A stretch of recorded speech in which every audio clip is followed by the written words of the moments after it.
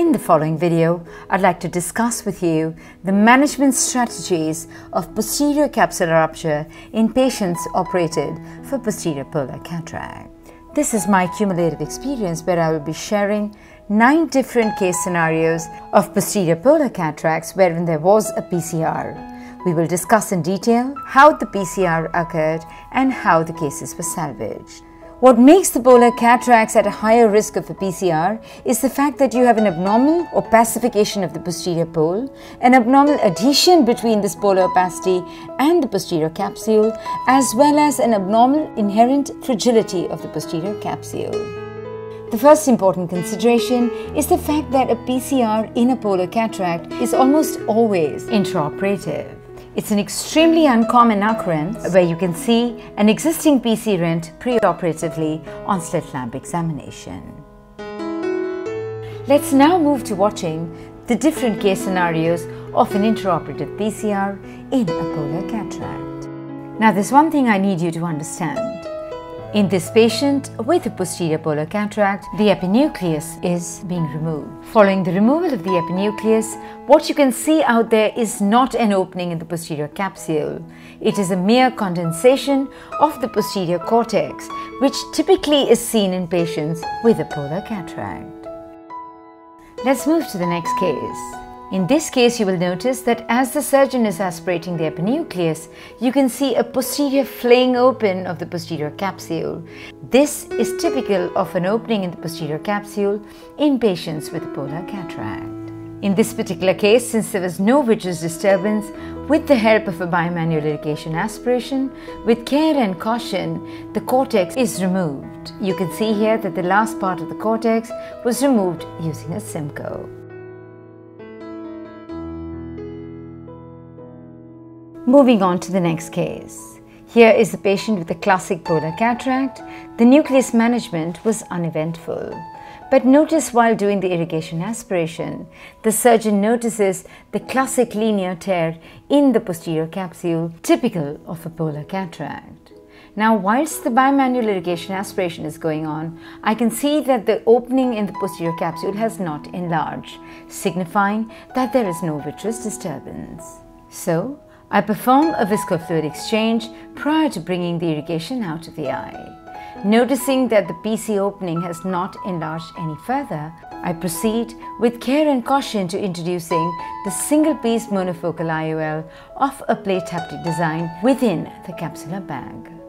It is then rotated so as to lie at right angles to the opening in the posterior capsule.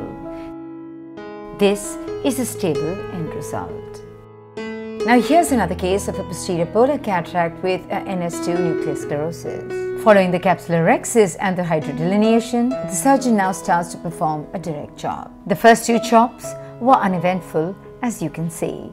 I now rotate the nucleus and when I attempt to hold on to the nucleus and bring it out, notice how the nucleus starts to sink. I decided to perform a posterior assisted levitation wherein a 26 number needle was introduced pars plana behind the nuclear fragments and the nuclear fragments were drawn out into the anterior chamber. Having achieved this, I then created a scleral tunnel and then brought all the nuclear fragments out of the eye. As you can see, viscoelastic is introduced into the anterior chamber, the posterior lip depressed and the fragments removed. A limited anterior vitrectomy was then performed in the cut IMO to clear the vitreous, followed by the removal of the cortex in the IA cut mode as you can see here. Under adequate viscoelastic cover, a rigid single-piece monofocal IOL is then dialed into its place within the ciliary sulcus.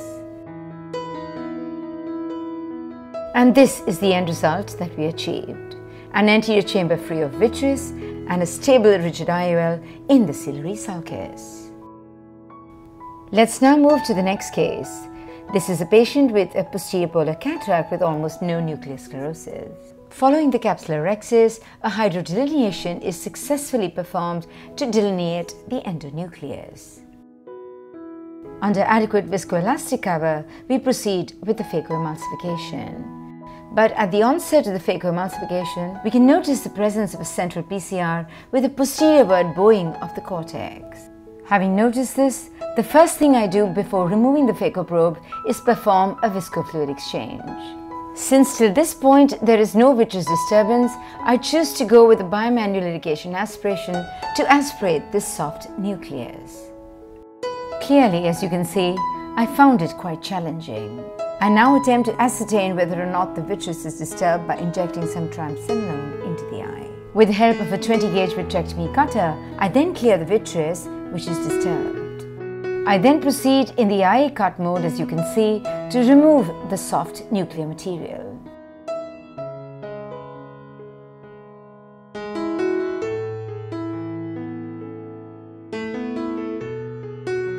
I then perform a viscofluid exchange prior to swapping my hands.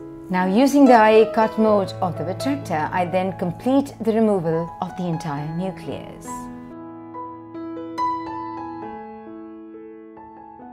The cortex is also similarly removed.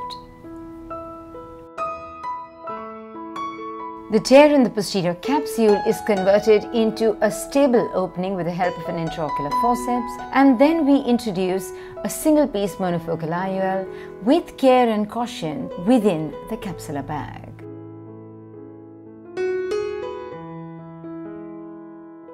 The haptic from the anterior chamber is now flexed into its position within the capsular bag.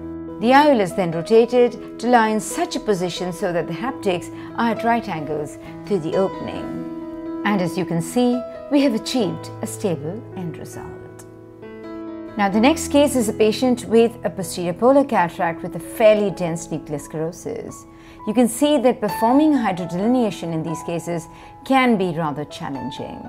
When the surgeon attempts to perform a direct chop, let's see what happens. As you can see, the first chop went well, the nucleus is then rotated, and the surgeon attempts to chop further. Having downsized the nucleus, we can now see the emulsification of the individual fragments. But look what suddenly happens. Notice how one of the fragments starts to fall back into the posterior segment. Now what does the surgeon do at this time? Now because of the one or two free-floating fragments in the anterior chamber, they are carefully emulsified ensuring that there is no vitreous disturbance, followed by a viscofluid exchange prior to the removal of the phaco probe. As you can see that the vitreous is disturbed here, the surgeon then proceeds to clear the vitreous by performing a limited anterior vitrectomy and a cortex removal using the IA cut mode. The important lesson here is that when you have a fragment that starts to fall in, you never go chasing the fragment and try and bring it up. The best option is to let the fragment go, clear out the vitreous and the cortex from the anterior chamber, as well as place a rigid or a three-piece IOL within the ciliary sulcus. These wounds should then ideally be sutured prior to handing it over to our VR colleagues to then remove the dropped nuclear fragment from the pars plana route. This next case, as you can see, is a patient who's undergone a pars plana vitrectomy. There is the presence of silicone oil in the anterior chamber. It's a very soft cataract with a posterior capsular plaque. At the end of nucleus management in this case, there is a posterior capsular plaque. Now let's see how that was managed. An opening was made adjacent to the plaque with the help of a cystotome and you can see how just with the help of a cystotome I'm able to propagate the tear just beyond the plaque and complete the tear all around this plaque.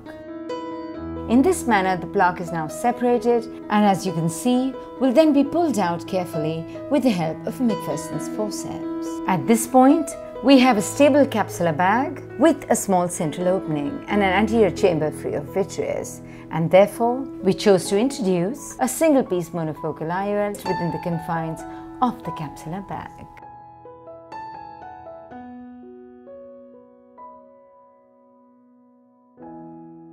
At the end, we had a stable end result. The one step that you do not perform in a patient with a posterior polar cataract is performing a PC polish. While polishing the posterior capsule, notice what happens. The surgeon actually ends up with a PCR. Under viscoelastic cover, with the help of an intraocular forceps, this irregular tear in the posterior capsule is converted, as you can see, to a round, stable posterior capsulorhexis.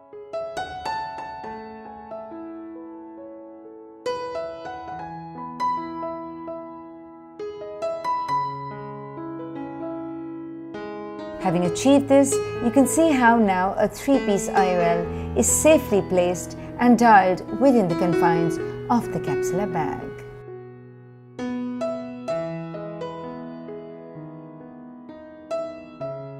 The end result was a stable IOL in the capsular bag. Moving to the second last case of our series, remember that even a stromal hydration, if performed with excessive force, can result in a PCR as it did in this case. So remember in polar cataracts, when performing a stromal hydration, make sure not to apply over excessive force while hydrating the incisions. Coming to the last case of our series. This patient presented with a grade 2 nuclear sclerosis with a classic polar cataract. Having achieved a fairly ideal capsulorhexis, we proceed with the hydrodelineation. Following the hydrodelineation, we now proceed to perform a direct chop. This part of the video will demonstrate the technique of direct chop that is used to downsize and emulsify this nucleus. The nucleus management was uneventful.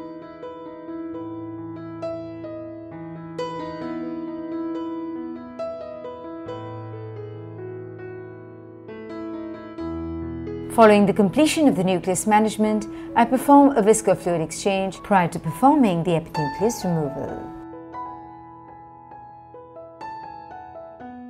Following the removal of the epinucleus, a viscofluid exchange is further performed and now let's see what happens when we perform the bimanual irrigation aspiration.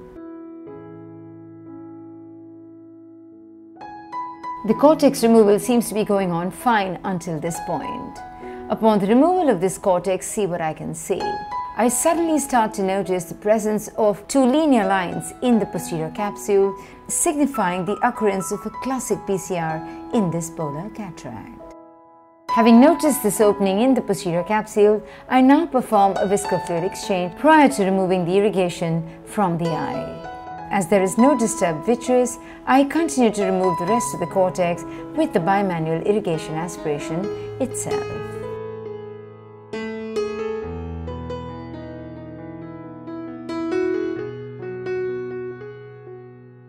At the end of the irrigation aspiration, I perform a viscofluid exchange and note now how with care and caution, I am actually able to implant a multifocal IOL within the confines of the capsular bag.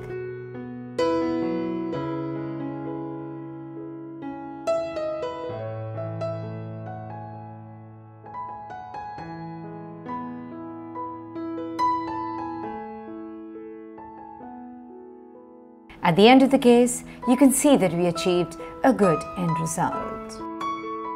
This has been my cumulative experience of managing posterior polar cataracts with open posterior capsules.